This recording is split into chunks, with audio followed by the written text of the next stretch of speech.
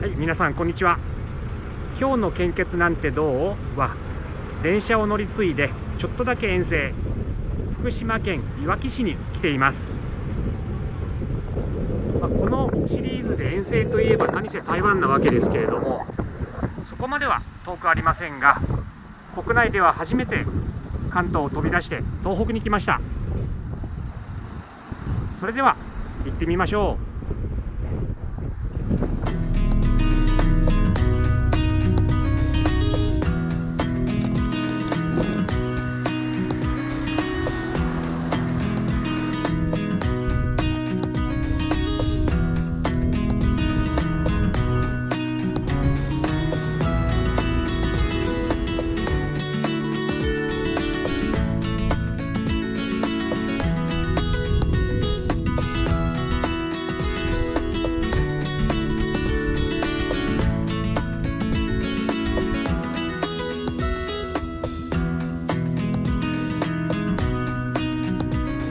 はいということでいわき駅前からバスに揺られること25分ぐらいですかね。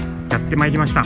今回は福島県赤十字血液センターいわき出張所での献血です。